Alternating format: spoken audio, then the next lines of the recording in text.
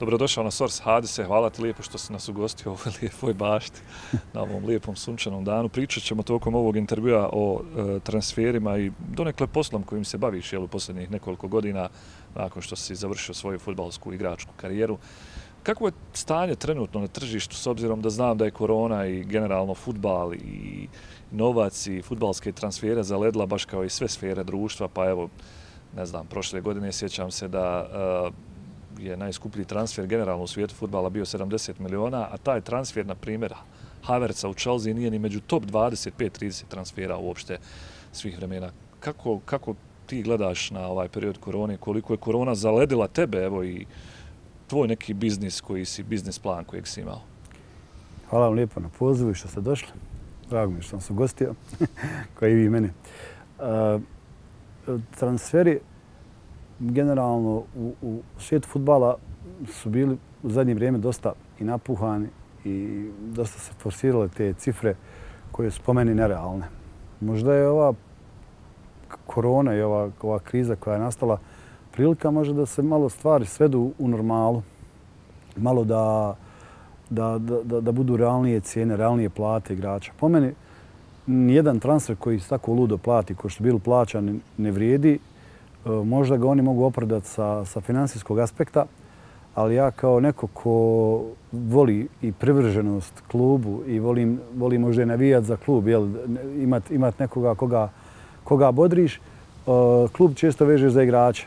I onda e, usled tih, usled te pomame velikih transfera i nemoralnih ponuda, igrači prlagano ovaj, su odlazili i bio isključivo interes i, i vođeni, vođeni mirisom novca, odlazili su u klubove ovaj, jel, čisto, čisto iz, iz, iz tih razloga, iz tih pobuda. Tako da, gledajući ovaj, na, na, na ovu krizu koja je nastala, ona u futbalu je osjetna, osjetna je, ovaj, ali mislim da, da, da nije toliko strašno. Eh, obzirom na, na, na, na čitavu situaciju koja je zadesla svijet. Tako da futbal i dalje se kreće, evo, kad ste pitali konkretno ono što ja radim, ide, hvala Bogu, u dobrom pravcu, otprilike neke stvari koje su mi pokrenuli, koje radimo, one, one idu, idu svojim tokom. Transferi se rade, kaže, možda su malo, malo platežna moć, možda malo manja između klubova, plaćanje ti neki obeštećenja, gledaju se možda malo više ovi free transferi, igrači koji mogu da dođu bez obeštećenja. Eh, područje gdje ja radim najviše je Turska i otprilike to je u nekom okviru kojem je bilo možda nekih 10-20% da kažemo da je to se možda umanjilo, ali, ali nije, nije prestrašno.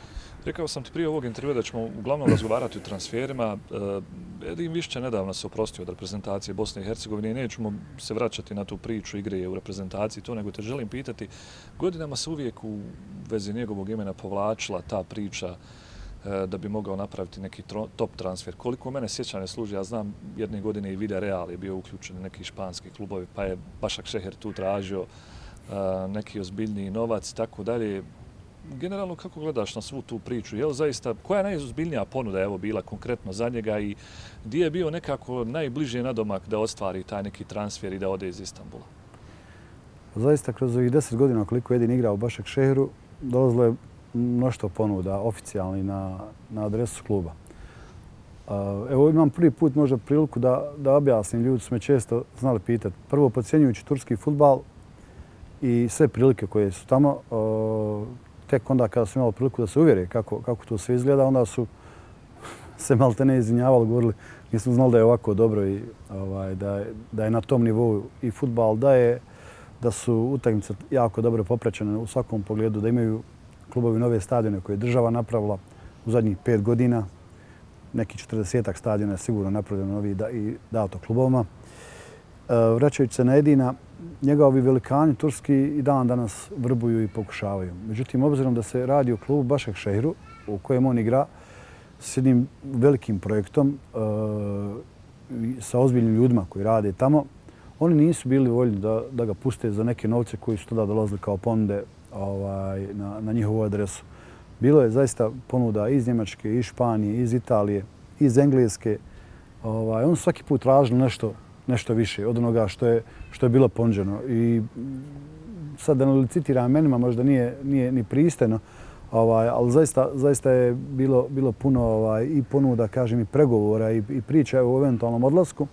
Ali moram vam priznat da, da nijedin nije bio taj koji je navaljivao da ide odatle. To je ovo o čemu pričamo. E, on se tu sad jednostavno osjećao domaćim, osjećao se e, dijelom te, te priče. Bašak Šehir nije, nije ovaj, neki klub sa velikom tradicijom, ali u zadnjih godina oni su bili stalno kandidati za prvaka Turske. Stalno su bili u prilici da, da osvoju tu titulu. Prošle godine su uspjeli u tome igrali ligu prvaka, dostojno predstavili, predstavili Tursku, pobjedili su jednu Manchester Uniteda.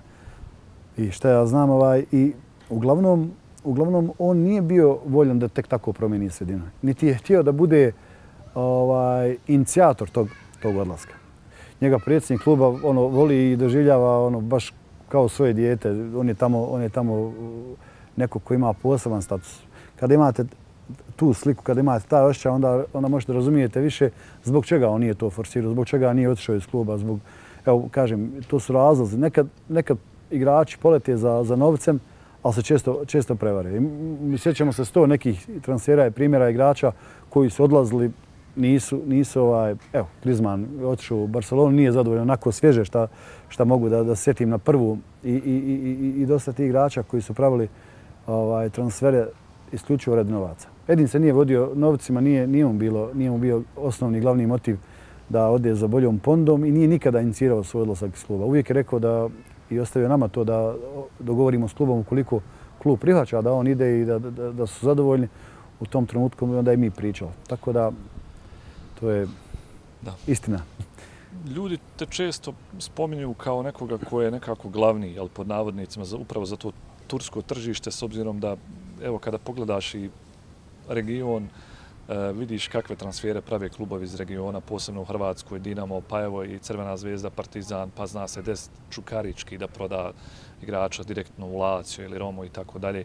Što je potrebno da se kod nas to desi? Jasno je da nemamo jako više to njemačko tržište kao što je možda bilo jako unazad 20 godina ova generacija igrača kada je isplivala e, nakon rata. Međutim, evo sada čini se baš to tursko tržište da je izuzetno jako kada je u pitanju naša premier liga. Ali šta je potrebno kod nas da se desi da jednog igrača i da li je to uopće moguće ili, ili mi samo sanjamo i razmišljamo o nekakvim zabludama da jedan igrač iz Sarajeva želje i tako dalje ode direktno u top ligu petice? Pitanje je odlično i kompleksno. Ja probat ću da, da zaokružim. O, mi kao i država naša, nažalost, Eh, neću, neću biti negativan, ali eh, mi nismo kroz godine unazad nismo imali tu jaku, jak utjecaj, taj jak lobby menadžerski kao što je imala Srbija i Hrvatska.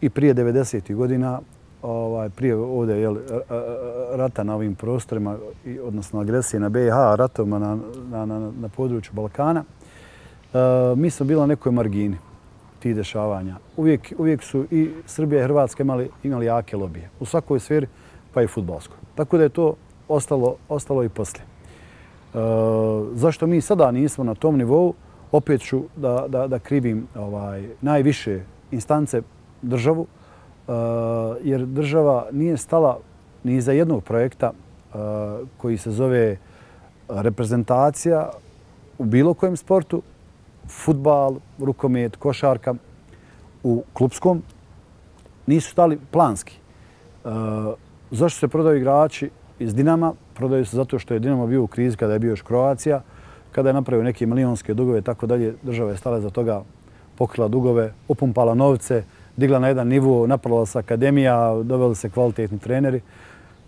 dovela se djeca iz čitave, čitave Hrvatske i krenuo je, krenuo jedan proces. Taj proces u BiH nigdje nije krenuo. Znači, stala je država iza, iza, iza projekta zvanog Dinamo. Crvena zvezda u dugoma od, ne znam, 50-60 milijuna eura, pokriven, pokriven od strane države, obezbijeđena sredstva, kako, šta, završeno. Napravila se opet podloga, zvijezda je zvijezda, uvijek i Partizan, i Dinamo, i Hajduk. Opet vraćamo se na, na, na, taj, na, na taj period gdje, gdje su želje Sarajevo, Velež, Sloboda.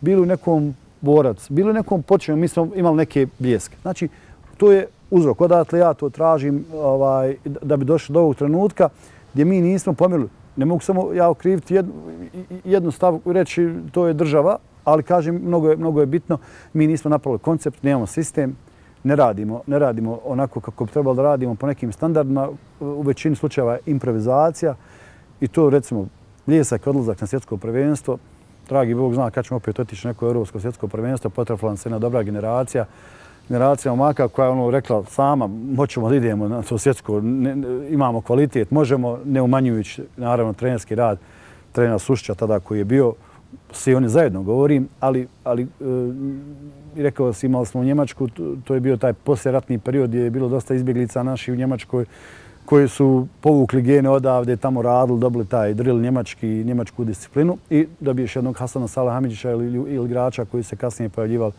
da i sad ne nabrajam. Znači, ima, ima, ima razlog zašto mi to ne pravimo. Zvijezda i Dinamo igraju Ligu prvaka, Želje i Sarajevo ne mogu da pređu drugo pretkolo. Kad smo do trećeg pretkola dolazili kupo EFA ili Lige šampiona, eventualno, ne znam, da, da ne lažem sad, ovaj, to je bilo puno koševo slavlje što smo, što smo uspjeli da, da, da, da dođemo do toga. I naravno da igrači onda iz, iz te lige koje dolaze nemaju, nemaju u, ta, ta, taj, kako bih rekao, jel, značaj kod ljudi koji to prate. Gledaju, gledajte sa nekim, sa nekim onaj, dozom opreza, da, ti to, da to nije to kako, kako izgleda u Hrvatskoj i Srbiji, što je na kraju dana istina. I zaista nije, nije lagano igrača odavde, odavde prodati iz naše lige. Evo, svjedoci smo i u zadnje vrijeme svakakvih ovaj, dešavanja u našem futbalu i ljudi misle da se to ne vidi, ljudi misle da se to ne prati, zaista prati se, zaista, zaista sve se gleda i, i ja trenutno imam čovjeka koji je tu iz Turske došao gleda utakmice, bio je i gledao da ima observacije koje, o kojima ja pričam, zamjerke koje su no, nama svakodnevnica postala, a njemu baš nisu onako ono, prijatne, neka, neke sudijske odluke koje su onako čudne igrači koji u 60. i 70. minuti padaju na glavu, pataju grčevi. To je tako. Ja zaista, ja sam igrao u ligu, apsolutno ne umanjujem. Ne govorim da je nekad nešto prije bolje bilo, nikad to nisam rekao. Ali zaista cupkam u mjestu. Nekad učini se da napravimo korak naprijed, da se vratimo dva. Dok sve, dok ne napravimo uh, sistem koji, bilo kakav sistem, bilo kakav sistem koji će funkcionirati, koji ćemo mi u put popravljati, uh, mi ne možemo da se nadamo neko, nekom velikom onaj, transferu i nekim velikim događanjima, barem ne iz, iz, iz, iz, naši, iz naši znači, države direktno. Mi smo pravili transfere, evo konkretno Rijad Bajić, odveli smo ga u Konija spor, obeštećenje splatili 500.000 eura. Kada smo išli iz, iz Konije, išli smo u Dinez za 5,5 miliona eura. On se dokazao na, na, na nekom velikom, odnosno većem nivou i neko je to prepoznao i platio, ali nikad ga ne platio iz, iz BiH direktno. To te želim pitati. Rekao se da je vrlo teško prodati igrača i posebno sad u periodu, odnosno vrijeme kada je hrpa menadžera. Želim te pitati kako uopšte i koliko je teško plivati u tom nekakvom moru sa svim tim ajkulama i morskim psima. A, hiljade su menadžera, jeli, hiljade su igrača koji želi pronaći svoje jeli, mjesto pod, pod zvijezdama i pod suncem. Ja, ja sebe ne nazivam menadžerom. Imam prijatelja s kojim radim mog životnog druga Nedima i nas dvojica smo tu ovaj, već dugo godina i ne nazivamo se menadžerima, eh, uopšte ne, ne pravim eh, stvari uobičajene za neke menadžere, možda radim, radimo neki neobičajni način, ali za koji smatram da je ispravniji. Ja sam kroz karijeru doživio puno neugodnosti, neprijatnosti, podvala od strana i menadžera koji tada i nije bilo previše. Sad sebi svako da za pravo, no, znaš, evo, u, tvoj, u, u, tvom fahu kaže ja sam novinar, ono, tako uzme mikrofon, neku kameru i, i snima raju kaže sam novinar, znaš, no, i, i sa tih, fakat i on kameru ima, ima mikrofon, novinar čovjek. Tako je i ovdje, ovaj, ljudi, ljudi ovaj, se predstave neki menadžeri i to su da priče one koje ja ne bi ispričao mom djetu pred spavanje, ovaj, da, ga, da ga uspavam, šta oni obećaju momcima, kakve im dadnu obećanja, kakve im dadnu nade i tako dalje. Ja sam možda tu malo surov, iskren, ali, ali pravičan i ono što pričam, stojim iza toga onaj, 100% i, i, i ne vrdam. I nemam razloga da pričam nešto što smatram da ne može da bude. Tako da, kažem, ovaj odnos sa igračima ko, s kojima radimo, e, zaista, zaista je dobar, e, prijateljski, kad treba i profesionalan, ali mi smo više jedna velika familija, ono gdje smo svi mi tu ovaj, na jednom drugačijem fonu, vjerujemo si, mi nemamo potpisane ugovore s igračima, ne potpisujemo ugovore s jednim igračem, nemam potrebu. On ako želi, ako nije zadovoljan, on, on uvijek ima pravo da, da ode i da kaže da je, jel, tako da nekakav ugovor, nešto, apsolutno ništa ne znači. E, devalviralo je to, znači, kroz, kroz sve te, ovo, što govorimo, razno razne menadžere, agente, ne znam, nija šta.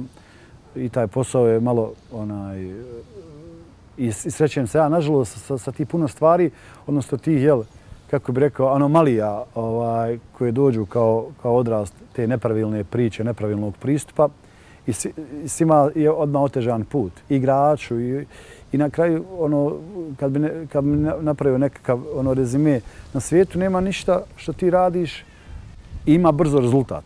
Znači, ima, ima nešto što, što ima svoj put i zna se kako se radi i treba vremena za, za sve i da, da se uradi, da sazrije.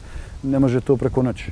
Tako da i ovaj posao ljudi gledaju i roditelji, i igrači, i menadžeri, znaš, on gledaju to, sad ćemo mi to pap, pap, i... Novi Džeko, za... novi Messi. Ali to, pitajte Džeku šta je, šta je puta plako, pitajte Džeku šta je puta igro povrijeđen, koliko je puta bio krvav, modar, svakakav, koliko puta je primao inekcije da igra. Tako, mislim, to je sastavni dio ovaj, sporta, evo, konkretno futbala ali kažem, ljudi, ljudi gledaju sve nešto na, prebrzo i da, da preskaču. Svaka, svaki segment našeg života sada ovdje, svi gledaju ima li neka okuka, ima li dže, kako mogu lakše.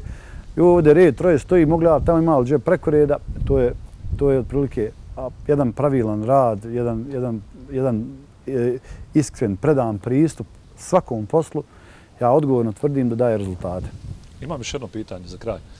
Svojim radom donio si, što je činjenično stanje, lijepu svotu novca za željezničar klub u kojem si igrao, a s druge strane vjerujem da ima ljudi koji kažu da, odnosno koji te možda ne gledaju, tim nekakvim pozitivnim, svijetlim očima, pa kažu da možda želje otimaš tu djecu, odvodiš ih prerano u Tursku i tako dalje.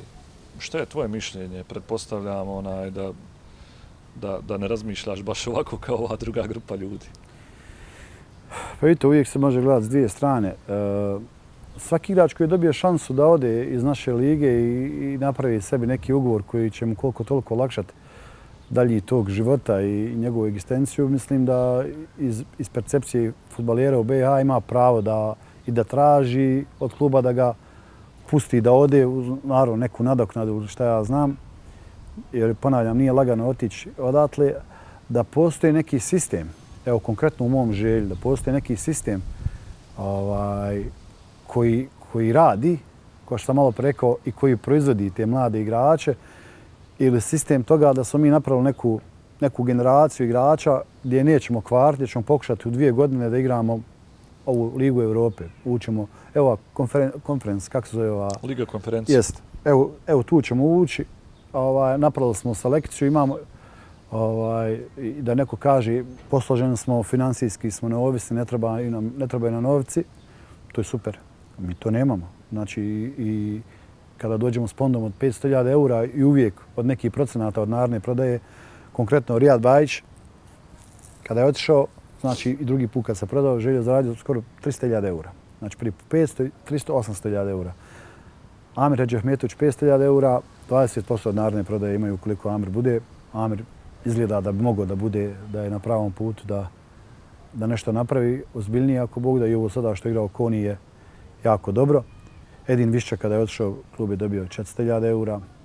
To su ozbiljne svote ovaj, za igrače. Odlaz malog Harsa, Edarevića, nedavno, to je nekih cirka na, na inicijalno milion i pol, znači s ovim, s ovim dodatnim prodajem pa skoro do 2 miliona eura dođemo. To je jedna, to je jedna lijepa cifra. Kamo sreće da možemo da odvedemo svake godine jednog igrača, dva i želje da, da donesemo te pare klubu koje su prijeko potrebne. A kamo sreće da, da klub dođe u tu poziciju da kaže e, nama ne treba, ove godine nećemo prodavati nikoga, pojačat ćemo se, dovećemo dva, tri igrača. Nema sistema, nema, nema, nema vizije, nema vizije jedna godina, dvije godine, četiri godine, nema toga. I sve improvizacije, tu to improvizaciji, kad stigne ponda, vjeruju, svi su presretni da, da, da igrača prodaju, niko ne želi, možda osim navijača koji kažu, joj, mogli smo ovo, mogli smo ono, ali to nije realno. Nije realno da, da kažeš momku koji zarađuje 1002 maraka, da ne ode negdje da zarađuje puno, puno više. Hvala ti lijepo, Hadis, na izvornom vremenu za Source. Hvala tebi.